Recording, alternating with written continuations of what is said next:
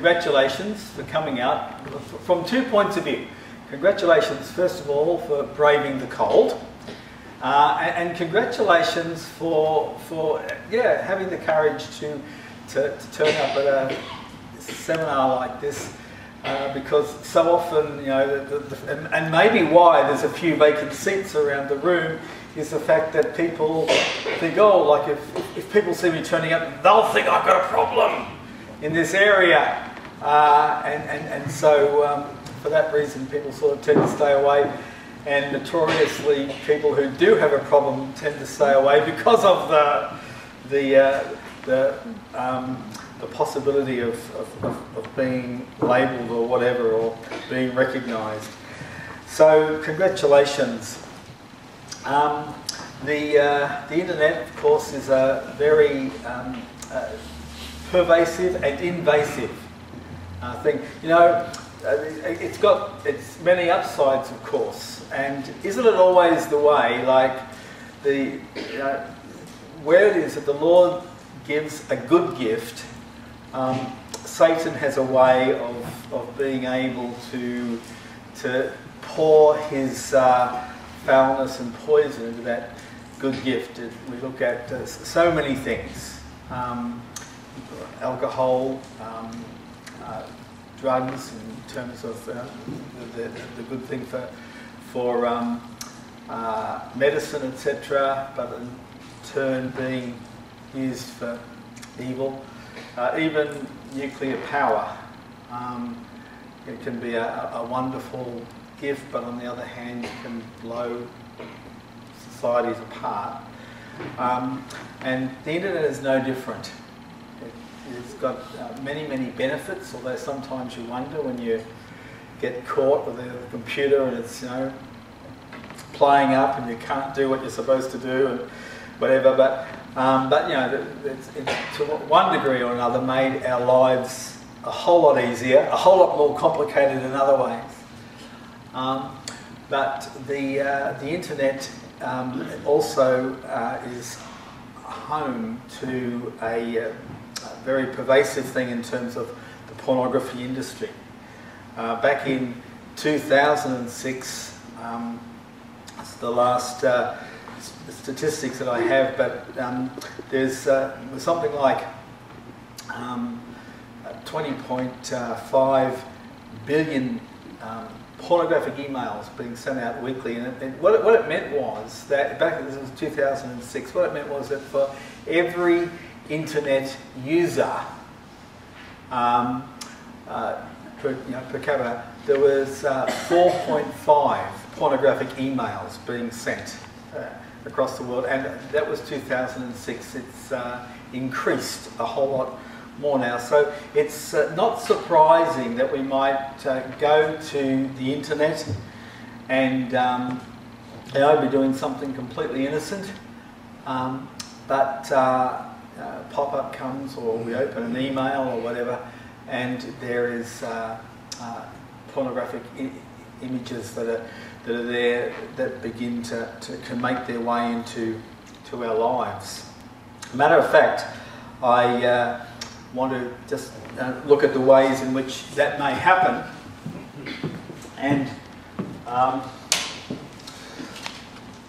have a little diagram here of uh, the heart. And uh, right there, there's a, uh, a fish hook.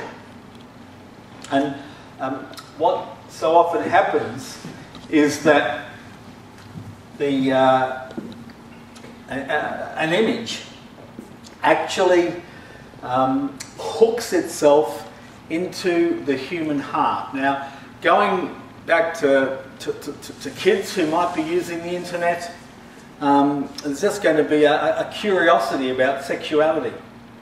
It's all talked about at school and whatever, and a, uh, an image um, is somehow uh, released onto, you know, onto the screen. And uh, the bottom line there, curiosity, and the kids can go, whoa, this is what the, the other kids were talking about. What's, let, let me have a look at this. Uh, and so um, they can, can look. But on the other hand, in terms of adults, Um, that's not. I just made this this afternoon, and it's not exactly coming out best on the. I haven't learned how to do PowerPoint yet. I've got to do this. um, but uh, the other thing in our hearts is um, uh, lust, loneliness, pain, longing.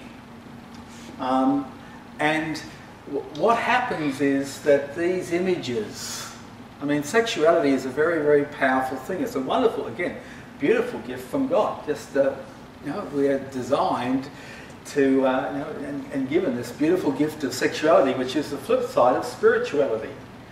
And, um, uh, and so we are designed to be attracted to the, uh, the human body, but of course God has given parameters in which they, that, they, they can be used. Um, and, and, and how we respond to our attractions, how we um, guide and, and uh, boundary our attractions. Um, so the heart has got a, a, natural attraction to the human body. Um, there is certainly curiosity, there can be lust, there can be loneliness, pain. And, and what happens is that an image, we see an image, um, and it's, it hooks into something in the heart. I remember uh, from John, I recall from John, um, Jesus, when he was going to the, uh, the cross, and um, he said, uh, Satan has nothing in me. In other words, Satan has, now, there's no sin within me that Satan can hook. Um, but so often in the, you know, in, the redeemed heart, there is still um, sin and the old person that we are putting to death. Um, as uh, we, we live in the new creation, the new creature, but the old is being put to death. And so often there's, there's stuff in there that can still be hooked, as it were. And so, um, the, uh, we, we, tend to be um, triggered and uh, go into uh, what we call um, mental preoccupation. We think, wow, that was, uh, that was interesting. What can happen is we think um, uh, we're hooked, we can close it down very quickly. Like, I'm not going to look at that. That's not what I, I wanted to, to do. But then we come back and go, hmm, just you know, maybe on a lonely day, mainly the point when we're feeling a longing or some pain or escape, to think, that image. I'll just go back and have a quick look at that, that image. I'm not going to dwell on it, I'll just, just have a look. Um, and th that's how it is that we so um, easily can be. I've actually got the wrong one up. Want to change, sorry. Um, come to here. Here we go. Same thing. Um, the last, the, the loneliness, we, we see the image and we experience pleasure. Um, we can close it down very quickly, but um, sometime later we, we go back and, and, and have another look and we get into another whole cycle here we recall what we saw. There's a fascination. We explore um, what it was that we saw. We can then close it down again. I'm going to ignore that. I'm not going to look at that. That's not what I should be looking at. But the same things can come back at some other time. And so we recall again and um,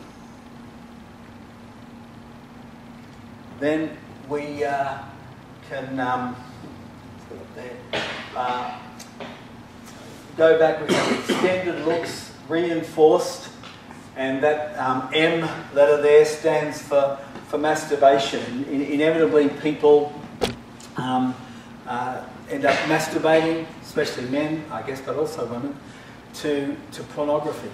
And, and, and what happens when, when there's um, pornography, when there's the image, and masturbation takes place, there are powerful associations that are actually formed in the brain.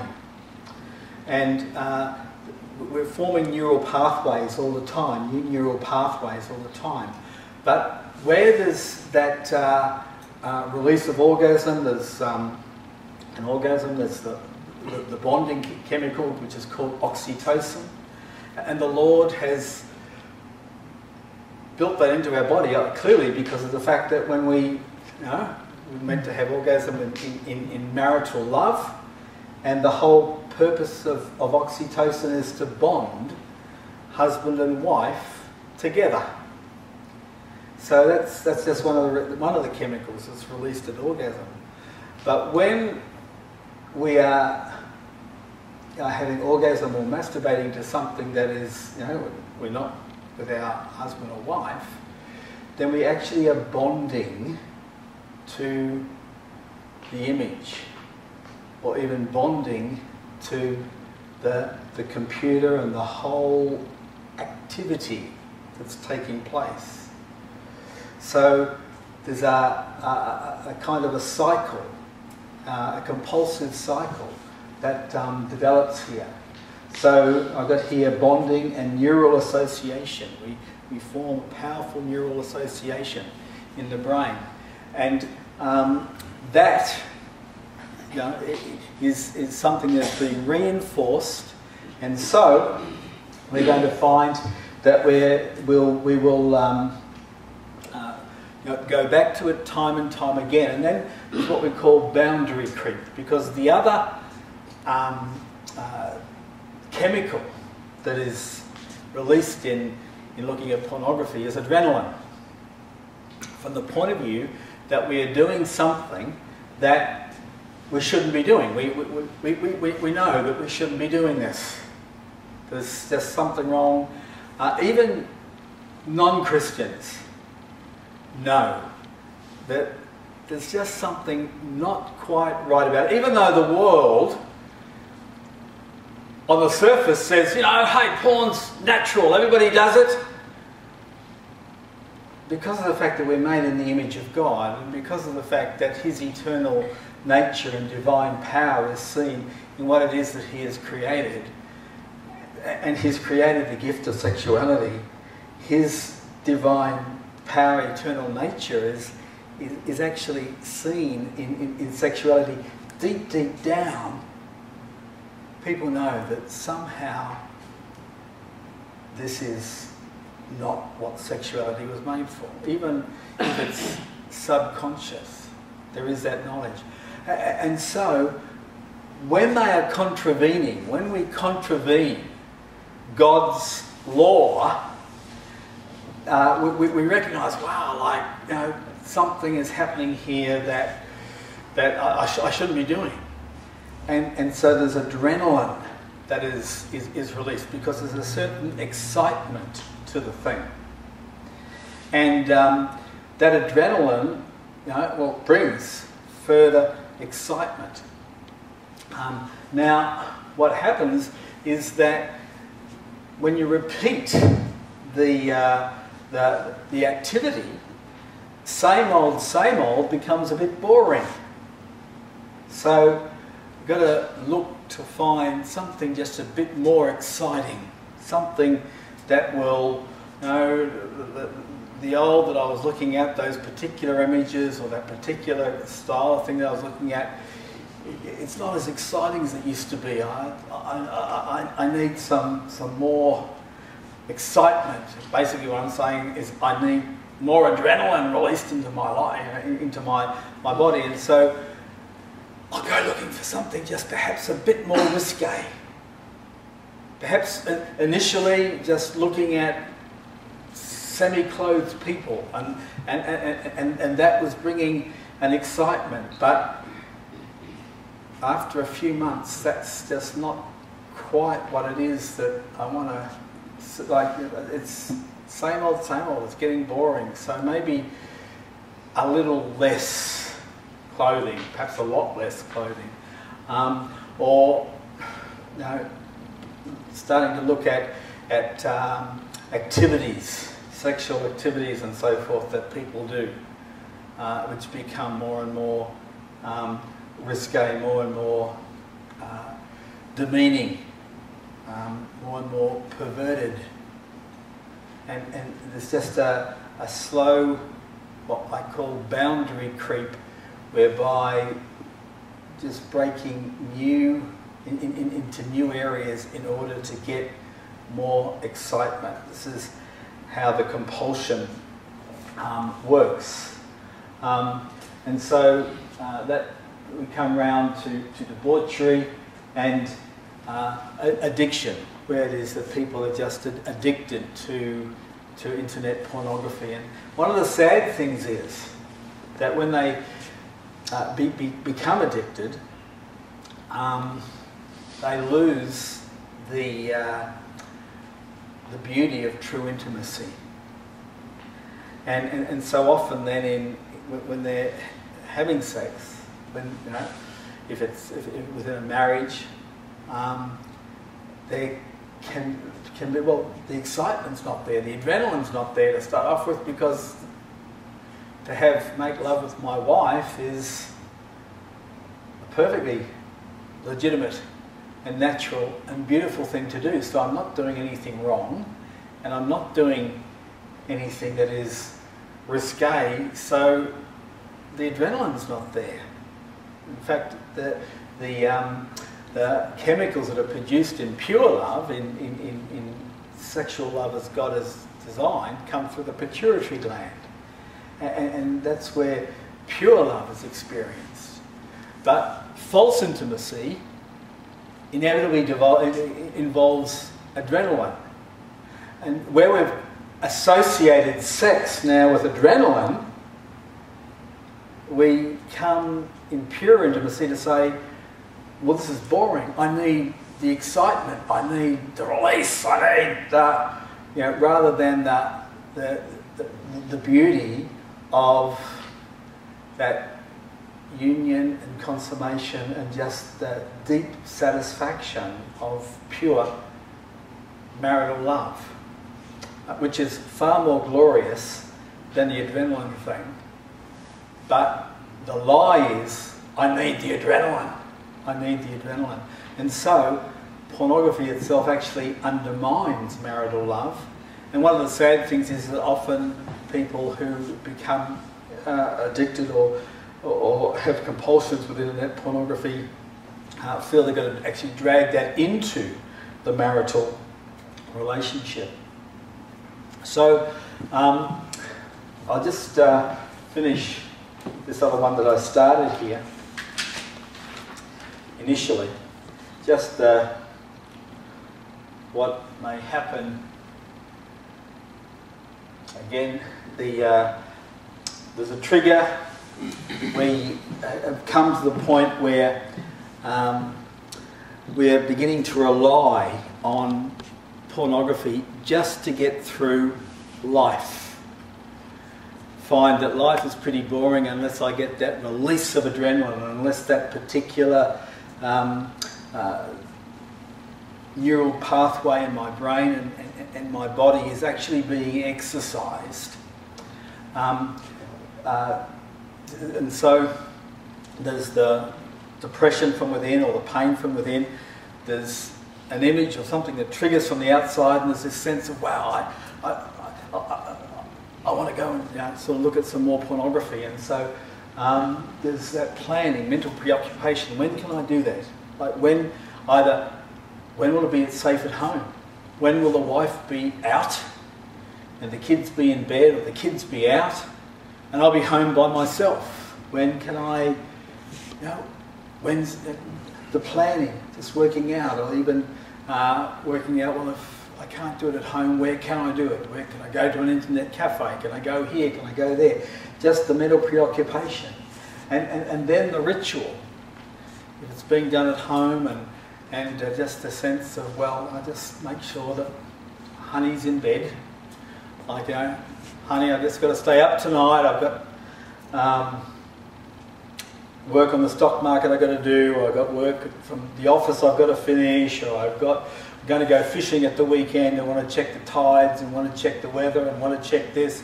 Want to, you go to bed and, and I'll be in later. And you know, just, this is all part of the ritual.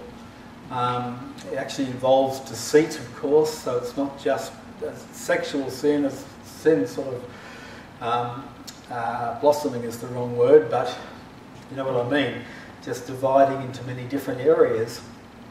Um, and, and, and so just sort of wait for a while and then sort of go for a walk through the house just to make sure that yeah the kids are asleep and in the bedroom yes honey's asleep um, I'll just maybe get a coke or a glass of red or something and just go back just quietly close the study door and sit down. Uh, and I'm, I'm going to check the, the tides. I am. I'm going to do that. That's what I'm going to do. It's kind of sort of just self-talk that is kind of in denial. But meantime, the adrenaline is building up. Go online and check the, the, um, the tides first of all and just quickly open the door. Yes, everything's quiet out there. And then sort of just type in the, the, the sites and look for uh, surf um, for pornography. That's the ritual phase of, of the addiction um, or the compulsion. And so there's, um, there's acting out, person acts out, and then uh, what we have, the consequences. Um, initially, the consequences are guilt and shame. And so they go into the heart. So not only might there be loneliness and lust and, and, and, and, and pain from things that happened in the past or whatever, and longing and curiosity in the heart, but now there's also guilt and shame in the heart. Perhaps even self hatred. I hate myself for doing this, but on the other hand, I can't help myself. I can't stop myself from doing it.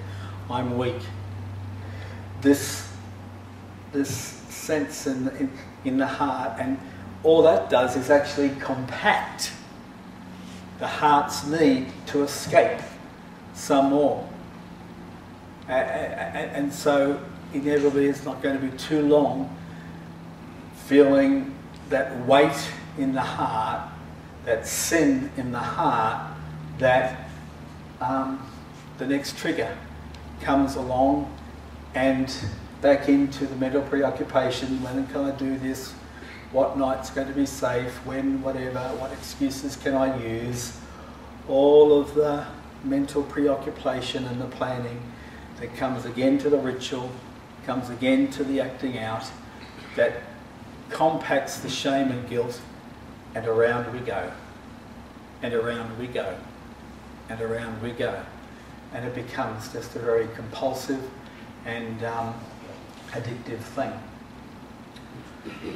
What do you think might be some of the, uh, the consequences of, uh, of internet pornography, of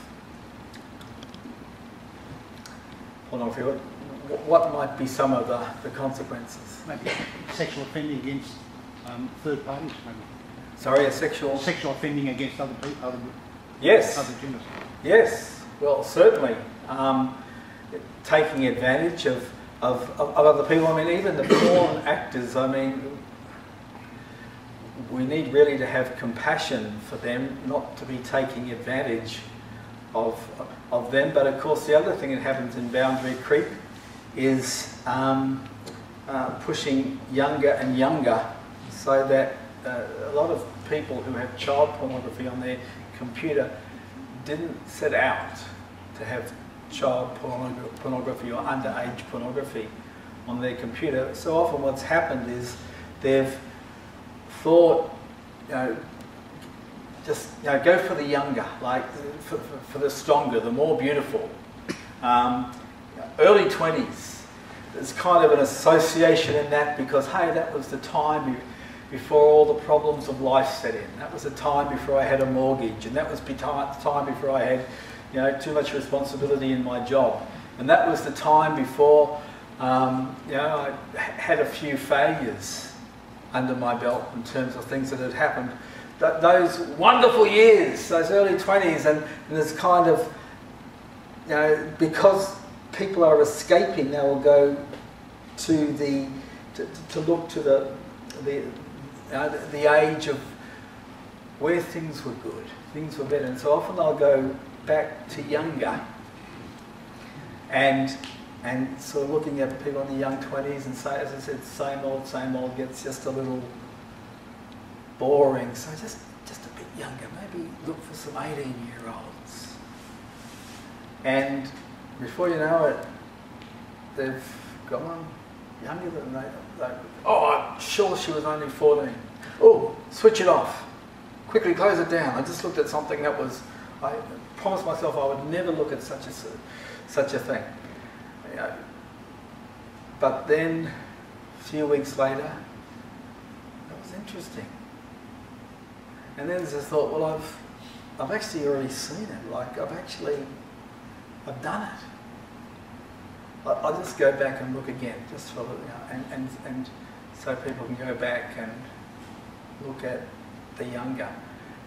Breaking boundaries. See, pornography inevitably is going to be a constant breaking of boundaries, which you know, make, makes the sites more and more um, uh, perverted, more and more degraded, more and more debauchery, um, because of the need for something more uh, exciting. Um, so yes, taking advantage of other people. One of the other things is that we tend to therefore objectify people and in internet pornography because you're just looking at bodies and you're not interacting with real people. Well, you're, you're seeing real people, but there's not an interaction there. But you're actually coming to that point of intimacy. I mean, you know, the, the Lord you know, has designed nakedness to be that special gift between husband and wife. Uh, and so there's, there's intimacy there. But when you're just looking at it constantly, you know, a thousand different bodies, you know, being um, looking past uh, as you surf the net, uh, intimacy is just drained of of its glory and you become attached to, to, to, to false intimacy. You're getting this sort of seeing, you know, what is meant for marriage, uh, just put out there like it's on the supermarket shelf, and yeah, like it's, I suppose, really comparing what uh, uh, high class meal at a French restaurant with perhaps eating from a rubbish tip is the, you know, perhaps an analogy that we can draw. But that's what's done to intimacy. It undermines intimacy, and so consequently, people actually lose the capacity for true intimacy because uh, it's, it's been cheapened and shortcuts have been taken and uh, just don't really know how to connect at a deeper and truer level.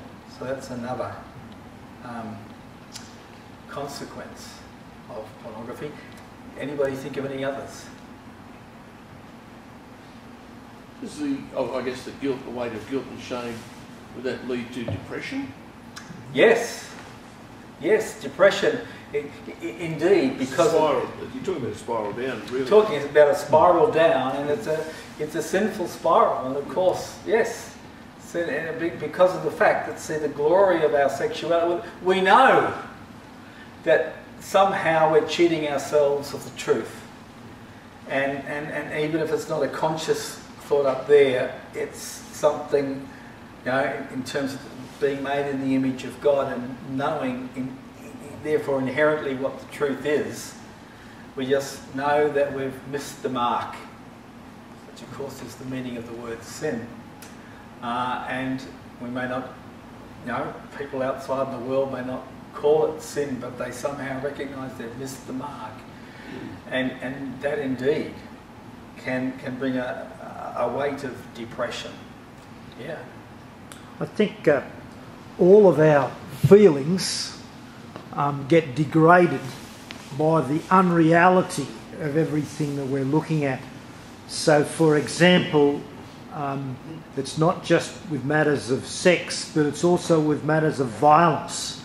Yes. You, you mentioned Violence. about uh, about going towards younger people, but there's also people get addicted to violent sex, which is something that in their own relationships they'd find abhorrent. That's right. Well, uh, find abhorrent initially, but Yes. unfortunately, then sort of seek to That's actually right. introduce that That's into right. their own relationships. And the point for, for those who may not have heard is violence Mm. is becomes a problem. You know, one of the again the boundary creep and this this um, uh, very um, subtle and invasive um, uh, problem with the internet.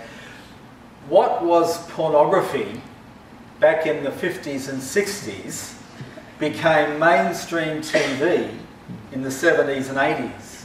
What was pornography in the 70s, 70s and 80s became mainstream TV in the, the 90s and noughties. That's you know, perhaps uh, an appropriate um, uh, terminology for those years. A- And, and so the pornography industry, in order to keep making money, have got to push boundaries. And so what's happening, what's happened in the last 10 years in particular is um, the association of sex and violence because that gets the adrenaline going. And, and, and so violence is being uh, you know, interwoven into sexuality and so, sorry, into pornography. And so you get um, uh, sadism and, and masochism and bondage and um, uh, those kind of things. And see, the, the, the problem for society is what does that say about what's going to be normal in 10 years' time in terms of what's on TV and how it is that people are living their lives. So all the time that this beautiful gift of sexuality that God has given is just being devoured. I really believe that we are living in end times. I mean, we've been living in end times now for 2,000 years, but I think that those 2,000, y- y- there's a, there's a climax coming from the point of view that Satan has unleashed this you know, flood of filth onto society in an unprecedented way. And, and what it is really doing is striking at the image of God in humanity. Because our sexuality, in a powerful way, reflects who God is. God is love, God is creativity, God is a God of covenant, God is a God of great joy and, uh, and, and pleasure. I mean, these are just, you know, the, the, the initial um, characteristics of God that we can think of. A- And we recognize that love, that creativity, creation, creativity, covenant, joy, and pleasure are all you know, inherent within sexuality. And so our sexuality is really a, a prime revelation of the image of God. And so as Satan is attacking that in society, uh, in the way that he is at present, he is having one last big go at attacking um, the, the, the, glory and the, the, the sovereignty of God, the very person, personhood of God. Um, and so we are actually seeing this, which is one of the reasons why it is that we as Christians can need to be a guarding our own hearts from this stuff, but also reaching out with good news um, about the way that people can be set free, you know, because the gospel is powerful to set free. Just as we finish this session, I, I guess the other thing is that far, apart from pornography, is also the chat room, um, an interactive um, uh, um, uh, sites that are available on um, the internet as well. And, and whereas men tend more towards pornography because men are more visually oriented, women who are more relationally oriented uh, tend more to the, uh, the chat rooms and, and filling up their, their loneliness, um, seeking to meet their, their loneliness by um, going to chat rooms and, and, and talking with people. And of course, in chat rooms, um, uh, we don't know who we're talking to because there are people have out, out there personas. In fact, a lot of people, you know, one of the big things is to create personas on the internet. And uh, the more that you can create personas and draw people in, um, the, uh, the more fun it is. Again, the, the adrenaline. Um, but, but women sort of can go on there just in order to find somebody to talk to, to relieve their loneliness.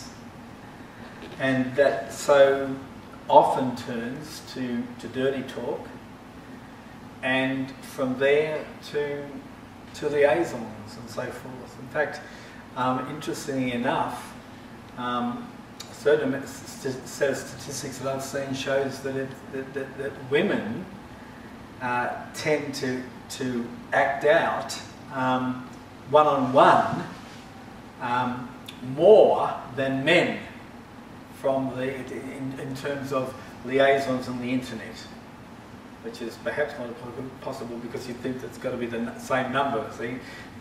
But, but actually, there is a higher degree of women who actually um, arrange to have uh, liaisons with people that they've met on the, the internet. Uh, and again, I've ministered many Christian women who didn't set out to do that. In their loneliness, they set out to, to, to just find somebody to talk to, to find a soulmate that they could talk to. But uh, the soulmate sort of drew them in, and, and um, so often, you know, let's meet for coffee somewhere. And you know, that leads to one thing to another to another. So uh, that's another um, uh, aspect of, of, of internet um, sexual brokenness, I suppose, sexual um, addiction. are there any questions arising from what it is that um, I've shared so far? I certainly will repeat those for the sake of the video.